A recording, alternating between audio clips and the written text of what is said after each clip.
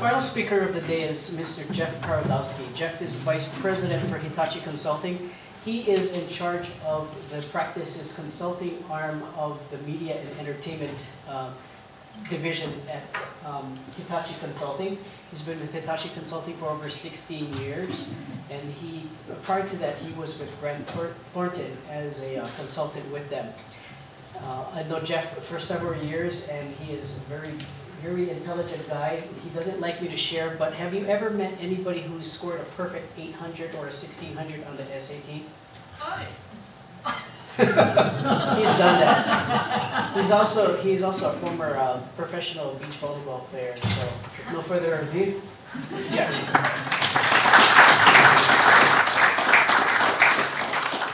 Thanks, Mark. Um, he loves to embarrass me when I walk on every single time. I should never have told him those stories. Um, before I start, yeah, I know Mark, uh, Ed alluded to this before lunch. You know, it's always tough being the last person before everybody's, you know, looking forward to the next big thing, which in this case is the panel and probably a ride home and the rest of your evening. Um, and I have a quick story about, you know, putting that in context. I was uh, at home talking to my wife yesterday, and she asked me, well, what are you doing tomorrow? And I said, well, let me tell you. So I talked to her about this conference, and she said, oh, when when are you going on? I said, oh, I'm, I'm right at the end, and I said, you know, I feel like it's kind of batting cleanup, and uh, you know, so it's my job to kind of bring it home, keep everyone interested all the way to the end, and you know, end on a, a, a big high note. And she said, well, you know, I'm, I'm you know, she having been a, an athlete all her life as well, and a huge baseball fan, she looks at all the panel speakers, counts to nine, and says, well, you know, I understand baseball a little bit too, and, and isn't the ninth position where they put the worst batter? so it's always good to have someone in your life who will kind of put you back and uh, remind you what's important. So, so anyway, uh, Mark and I talked a lot about different topics for today's discussion. I sent him a list of five or six, and um, this is the one that you know I think we both agreed was probably an interesting, an interesting topic and relevant topic. Um, but when you look at it, you're saying, okay, strategic spending in a down economy. Um, why do I care? So I think if you, you know, think about, the, one of the first presentations we had this afternoon was Mike, who former CEO of Patagonia, who I think put it, you hit the nail right on the head. Um, companies are about making money. And it all boils down to, and this is, we've heard a lot of great topics today, talent management, sustainability, um, the, the corporate social responsibility, all these are great topics, but at the end of the day, they're just ideas that we've yet to incorporate into an organization until we figure out how we can make them strategic to our, our business. And um, so we're going to talk a little bit about that topic today. So I'll, I'll spend just a brief amount of time framing the problem, and uh, should, after all the presentations today, should be pretty obvious. Uh, talk briefly about governance, uh, talk about value. Now, not value in some of the sense that we've heard today around ethics and morals, but more around business value, and, and uh, gonna hopefully give you guys a little bit of, of actionable uh, uh, IP here and, and show you a framework that, um, that we've used for a number of our clients in terms of helping them really make tough decisions around what they spend their money on and how can you compare projects um, in a way that's meaningful enough for you to make business decisions. Uh, talk a little bit about you know, how do you make it work in an organization and tools, and we'll wrap it all up and uh, hopefully have some questions. And my goal is to keep you all entertained and, uh, awake to the end of the day. So uh, the problem, I, you know, nothing really new on this slide. Um, I think we saw all black slide earlier this morning. Uh, a little gloom and doom from the uh, um, the lunchtime session, at least the first half of it. And uh, you know, I, as as uh, I like to, to use a lot of movie quotes. People who know me very well. I use movie quotes a lot of times to explain things. Another trait my wife likes to remind me is not that endearing. But um, uh, I quote a movie, Armageddon, and it's a bad movie, but lots of great quotes. And, and there's a scene in Armageddon where Owen Wilson's, he's one of these kind of layman drillers who's going to go up on an asteroid and he's going to try to drill a hole so they can put a nuclear device in it and blow it up so it saves the planet. And he's asking Billy Bob Thornton, who's you know chief scientist for NASA, so what's it going to be like up there? And uh, the guy you know, goes into this extremely technical 800 degrees in the sun, negative 400 in the shade, ice stones. He stops him right there. He goes, scariest environment imaginable. Got it. So that's basically, if you put it, you know, one, one line, one quote that summarizes this slide, scariest environment imaginable. Um, yeah, I think we, we all saw some hope and uh, some optimism in the early part of 2010. Unfortunately, the summer hasn't really panned out that way, so you're seeing a lot of companies sitting on cash. So ultimately, the problem is you know, we thought there was gonna be a little more strategic spend this year, we're not seeing the budgets really opening up, and I'm working with a lot of customers on their annual budgeting process, and we're just, we're just not seeing the amount of, of, you know, the opening of the floodgates to say, hey, let's, you know, let's start putting money back into the business. Um, and on the flip side, and I, I, there was an earlier presentation that talked about this pull on both sides, is business haven't, hasn't changed. In fact, the business is actually demanding more. So on the, you know, on, on the business side, you're, you're having this constant pull. Hey, we, you know, we've got competitive pressures. We've got to stay ahead of people. Um, the velocity of business in today's society is just moving at, a, at an incredible pace. And, and because there hasn't been any spending for a couple years, there's this huge pent-up demand for investment into you know, people, technology, systems, um, all the different parts of an organization in order to make them more strategic going forward. So what we get here is uh, you get to a kind of an example here of, of the situation anyone who's been involved with it with a budgeting process is probably very well familiar with. Um, uh, the names and the amounts are changed to protect the uh, not so innocent. But basically, you know, what you can see on the, the, the, the request side is you got 100 million in requests. There's, that's the business asking for all of this type of investment. We need all these things in order to be better, faster, stronger than our competitors. And then you see on the, the 55 million side, that's what finance is telling them. Well, we got 55 million. Make it work. Uh, and you know, first argument is, hey, you know, last year we spent 57. Well, that's, that's last year, this is this year. So what you get into a situation is you got to figure out $45 million got to come out of your out of your, your list of things to do. So how do you figure that out? So the, you know, the, the trick of this is you know, typically what people refer to as the governance process, and it's really just making decisions. You know, how do you determine whether it's within your department or if it's across your department, how do you figure out what to spend your money on, what's the most valuable to your organization? Now, I, you know, I, I, I, would say one thing is, you know, I look at IT a lot because IT has been forced to go through this process a lot earlier than most other organizations, simply because you know, they've been under the microscope for years, even when times were relatively good. So they tend to have uh, a lot of these processes ironed out. And you know, they're never, it's never an easy process. And you know, there's a lot of different type of governance models out there. Uh, I think you see, you know, a lot of organizations now going from a centralized model where they used to make the CIO be the person who decides which IT projects go in and which, which don't, um, which always made the CIO a very popular person. Um, to now they're kind of decentralizing that process and saying, hey, business units, you tell us what's important to you, and IT will just work, figure out um, which of those they can do, and we'll draw the line and we'll start from there. But um, either way, you're going to still have these challenges because at the end of the day, you've only got so much spent, and um, the ask is obviously much more than, than what's available. So we get into a situation where we have to figure out what's important to an organization. And you know, that's where we get into the value discussion. So if you look at the dictionary, you know, obviously the, there's a lot of different, different definitions of the word value. One that's probably important uh, and relative to this conversation are, are, these two. You know, number one, it's, it's a relative worth or merit. And the relative is the key point there. Is you know, value is never really an absolute to anything. It's usually value as it relates to something else. And it, as point two um, highlights, it's usually used as a form of trade-off or negotiation. And so that, that becomes really critical, especially when we talk about how an organization is going to spend their money. So as uh, Mark mentioned, I've been in consulting 16 years, and um, there are two fundamental truths in consulting. The first is no matter how well we do on a project, um, before our seats get cold and we leave the office, we'll probably be thrown under the bus.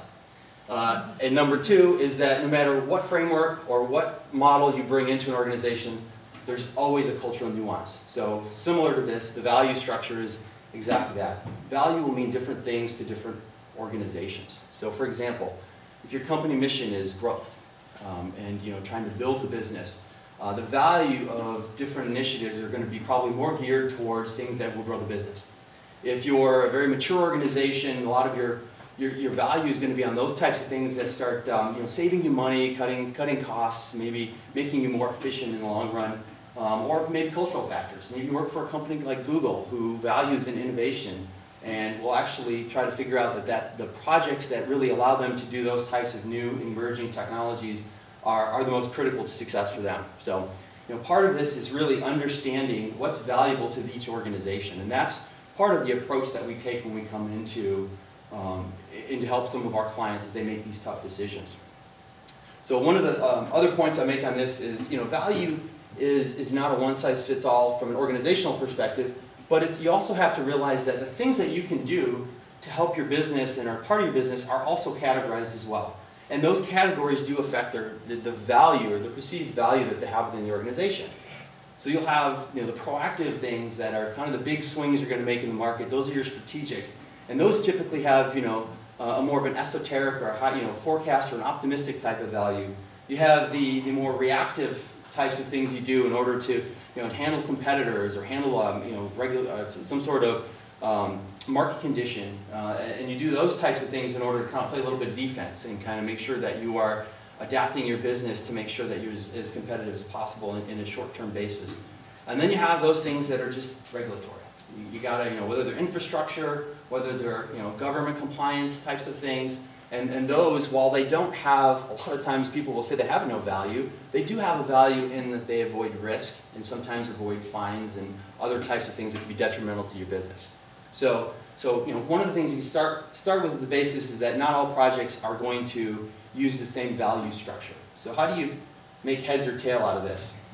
So uh, we've got this framework, and this is more of the, the theoretical perspective of it. Um, we'll talk a little bit more about a tactical um, application of it in a second. But, but really, I look at, at when you're defining value, you've got to look at two different axes. One is you've got benefits and you got costs. And that's pretty basic, everybody gets that. And the other side of it is you have your quantitative and you have your qualitative components to value. And if you think about it, the quantitative components, everybody gets that, right?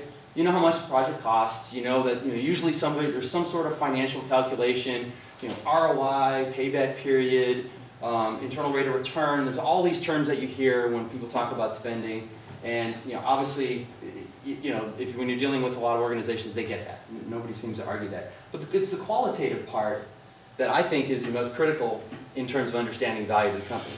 Because I think if you look at the continuum, if you focus just on the, the, uh, the quantitative pieces, you're going to miss the things like the innovation projects. You're going to miss the things potentially like talent management. You know, you're going to do the types of, like you heard from Warner Brothers this morning, you know, they had a project that they were looking at is to actually cut costs out of their supply chain. Um, the customer-facing stuff that we just heard, uh, saw presented, you know, those are the types of things that actually may have, you know, reduced churn and have a tangible output that you can measure but you know, what about sustainability? I mean, sometimes sustainability efforts um, and corporate social responsibility actually saves you money, but there are other times that that ROI won't be enough to carry a project like that over the goal line. So you have to look at the strategic implication, and there's a protection of the, of the brand. There may be uh, a way that you can use that in order to get out to the market or do something that's different than your competitors.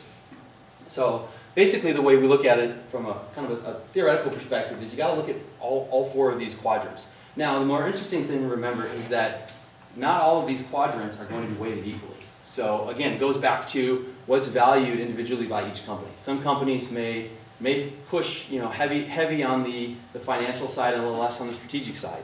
Other companies may go the other direction. So again, making a value model work is really as much about trying to tweak it and tune it to the specific levers that each company wants to pull in order to really understand what's important to them. So what, but the goal ultimately is to drive to a single score. And the reason you do this is to start racking and stacking comparing efforts. So don't go write this down because it probably won't work for your organization. So this is one example. this is very customized. So this is just one example. I mean, it, you know, this is, it just can show you that you take all, all of the different components of the framework and you, you start driving them down to things that matter. So for instance, for strategic impact, um, that's something where you align with corporate strategy in a couple of key ways, and maybe you give a couple extra points to a project based on that. Um, organizational impact is something that really addresses the risk in the organization. So maybe you have a transformational project, but that project is going to tax almost every group in your company. You need to account for that in that cost. And it's, a, it's not necessarily a quantitative cost, because you can't always measure it, but you realize that the focus and attention of getting something that significant transformation um, in your organization is going to detract from some of the things that might be considered core focus. So anyway, this is one example, and we've, you know, we've done this for a number of different organizations. We started this effort in the IT organizations and drove to this because IT was always trying to figure out a way to go back to the business and tell them why their project got cut. Um, this gave them a little bit of a basis to do that. Um, and you know, recently we've been doing it for a bunch of finance organiza- uh, finance departments within uh, large organizations who are now looking at the capital spend and having the same kind of challenges with understanding, you know, what's important if I've got X amount of dollars to spend this year, what, you know, what, what is the CFO going to approve? Because he's got a fiduciary responsibility to the board of directors in Wall Street a lot. So, um, you know, that's one example. I mean, we've got, we've got detailed, uh, we've done this model, and we'll talk, we'll, I'll show you a kind of a screenshot of what the, the actual model looks like when you put it into, say, an Excel spreadsheet. But, you know, understand that looking at value in a way that's not just purely financial, and in some places where there's just maybe not a lot of maturity, looking at value at all as a driver to, um, to understand what projects are important and which ones aren't, is, is kind of a, it's a cultural change. It's, and, and any kind of cultural change program, and you've heard a lot about change management today, um, relies on a lot of different pieces. So if you notice, and I, we heard this also this morning, is that every major transformational change really depends on people. So if you notice, people smack dab in the middle.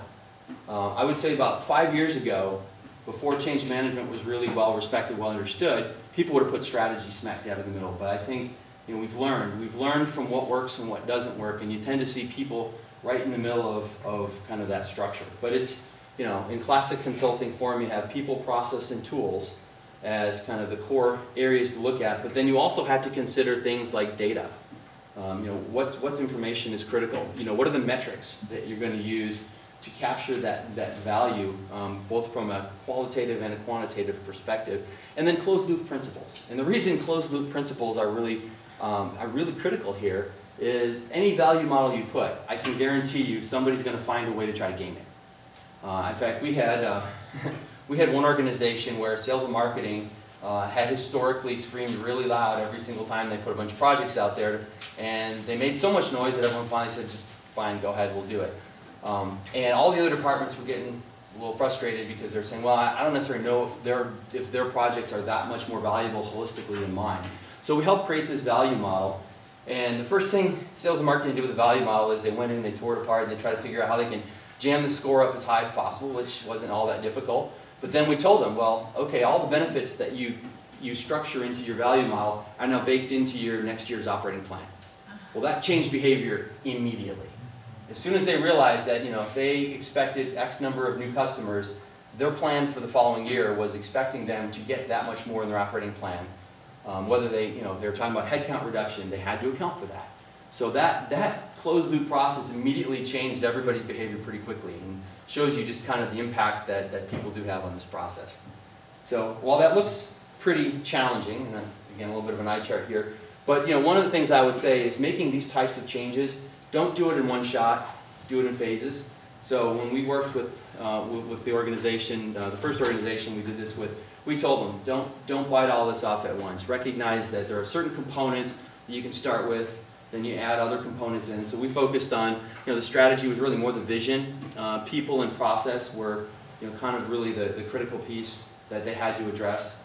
Uh, and then tools and data kind of fell out of that as a second phase. And then we followed that up with a whole um, kind of reporting metrics analysis and closed loop phase. So, um, you know, recognize that this is, this is a cultural change.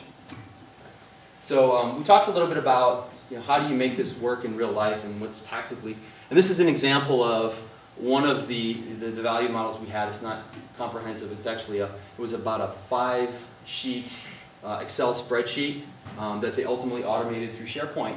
Um, but the first version of this looked at all the different pieces we talked about. So they had, you know, a section for strategic alignment, and when we did that, we went to every single business unit and asked them what their top three, the top three goals were for the next year, and what measures align directly with those goals. And so this actual model, when you click, just say you were in sales and marketing, and you click new customers, there was actually a computation that, there was a formula that was pre-filled that used all of the standard metrics that finance used to measure, and they had to add, they had, they basically entered, well, we think, we think we're gonna have a thousand new customers. Well, and that had a multiplier that drove them to an actual benefit score that they then used to bake into the following year's plan. Um, similar with, you know, the cost structure was, was standardized, and, you know, the value of this was, it was no longer the back of the napkin type of, of estimation that was done in the past. They used standard, standard processes, standard formats, and standard measurements so that everybody, when they were comparing their projects, had at least drove to some sort of financial cost, some sort of financial expected benefit, and then a value score that allowed them to rank them relative to each other. Um, and, you know, when you get this actually into a fully automated system, like when we put it in SharePoint, um, you were able to then pull the data out of this and, and make some meaningful analysis. Um, you know, the, the first year we did this, it was a lot of spreadsheet manipulation and a lot of, you know, copy paste from, from one spreadsheet to the summarized sheet. Um, we, we automated it in the second year and, and it's actually working quite well. They can now slice and dice it around a, a variety of axes. Uh, and then, you know, as we mentioned, the closed loop side measured not only the benefit side, so the benefits were baked into the, the, the, the subsequent years and future years business plans, but we also looked at the cost side. Because one of the things that happens and one of the natural kind of out, kind of one of the natural kind of fallouts of this is all of a sudden you get a little bit of the finger pointing. So sales and marketing is telling me, oh, you know what, I think it's going to cost X amount, which is going to give me a value score of this. IT comes in, gives them a cost, they, they compute the score. Turns out that the project runs a little bit over budget, so the value score isn't as, as, as, as uh, solid. So, you know, we had to show a closed loop on the organizations that were actually executing on the projects and creating those costs, as well as um, those that were kind of trying to drive the benefit scale. So you have to kind of balance it out and show. And what we, what we ended up doing is we create, eh, you know, instinctively you kind of look at this and say, okay, well this becomes now a performance contract. Whereas the performing organizations, whether it's IT, engineering, or uh, HR, finance, whoever's providing all the work and, and creating the cost structure, has an obligation to meet their estimates, but then also the business unit that's, that's requesting the, the project is also on the hook for trying to make sure that they capture the, the benefits out of this. And it's actually worked, and it created some meaningful dialogue between those organizations where historically you had a lot of, of uh, fairly contentious discussions.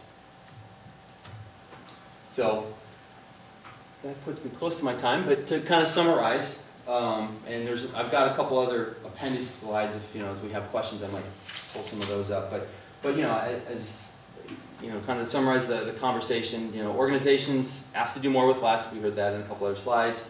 Um, just effective decision-making governance requires trade-offs. Trade-offs require some understanding of value in an organization, and while value is unique to every organization, it's, it is difficult to quantify, but you can come up with models that get you close. And you know, nothing's going to be perfect, but at least it gets you moving from a emotional-based conversation to a more fact-based conversation in the way that you're valuing projects.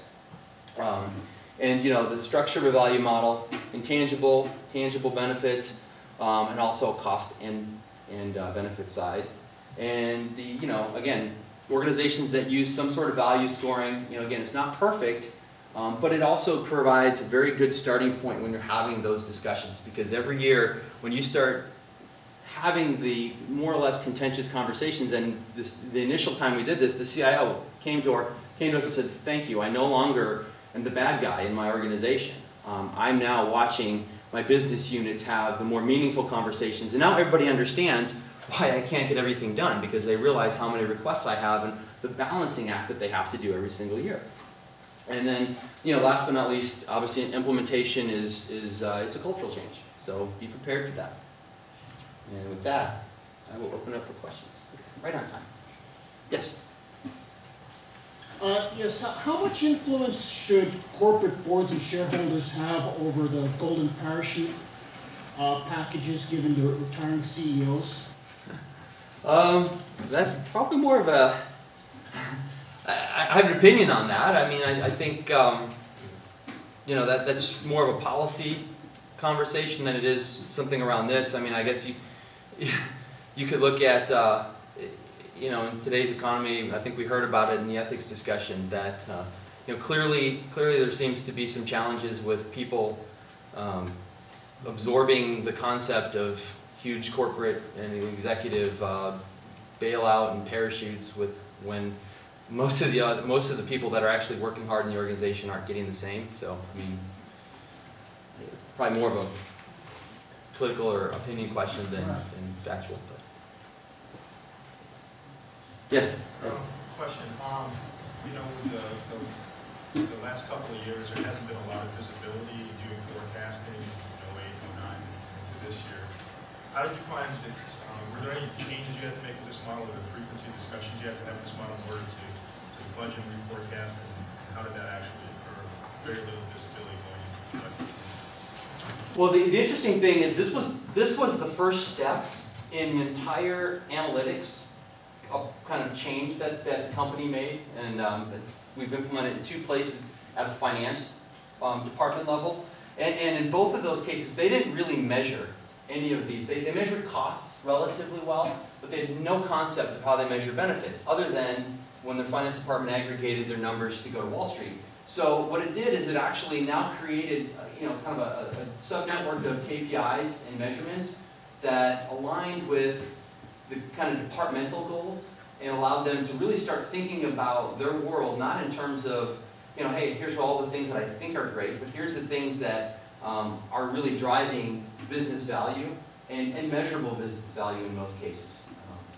So, so it was, it was, it was a step in the right direction for them. And, and it really was the, the, the end result of this was people started talking about projects not in terms of, hey, I think this is a great thing to do. It was, well, here's why I think this is a great thing to do. And here's what I think is gonna come out of it. So it, it, it was actually kind of a- a maturation process for the organization as a whole.